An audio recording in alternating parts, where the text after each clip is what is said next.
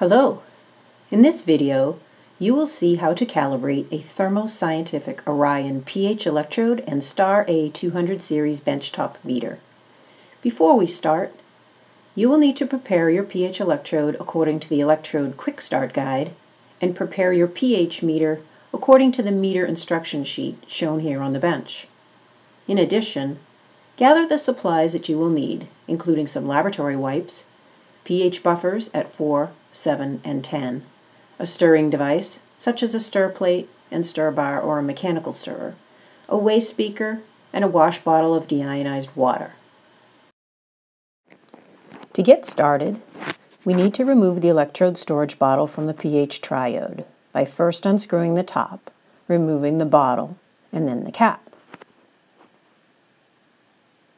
Rinse the pH triode and the mechanical stirrer with DI water from a wash bottle. Then, blot briefly and gently with a laboratory wipe. Put your electrode into the first buffer. In this case, we're starting with pH 4 buffer. Select the cal function on the meter by pressing the F1 key. Then, select Start by pressing the F3 key to begin the calibration. When using the mechanical stirrer, stirring will start automatically. If using a stir bar and a magnetic stirrer, start the stirring manually now. The pH reading will blink on the meter display until a stable reading is reached. When it is stable, it will stop blinking and the meter will automatically display the correct pH value for the buffer at the temperature measured by your pH triode or ATC probe, if you're using that. Otherwise, measure the temperature of the buffer and enter that value into the meter before calibration. We press Accept to complete the first calibration point.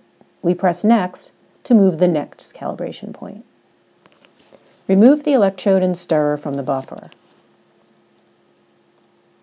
Rinse thoroughly with DI water we want to remove all traces of the buffer. Blot gently and briefly.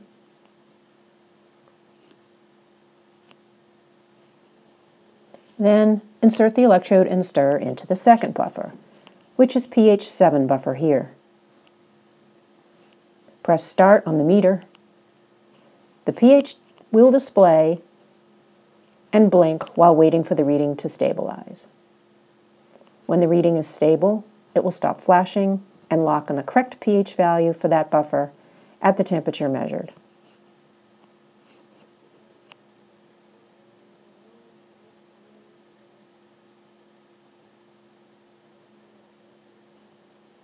We choose the option to accept the second calibration point. Since we're doing a three-point calibration, we press Next for the last calibration point. Remove the electrode and stir from the buffer. Again, rinse well. We want to remove all traces of the buffer. Blot briefly and gently. Insert the electrode and stirrer into the third buffer. In this case, we're using pH 10.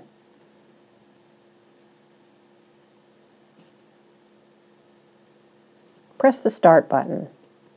Again, the reading will blink until it is stable. We can see all three calibration points on the meter display, including the pH, the millivolt value, and the temperature.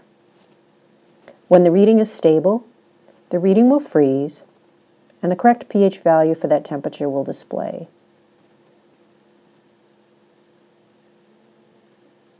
We will choose Accept. Since we're doing a three-point calibration, we are done. So we choose Cal Done. The average slope will display at the top of the calibration table. We have a slope of 99.1%, which is great. So we're all done. We press Measure, and we return to the measure screen. We are ready to make a pH measurement.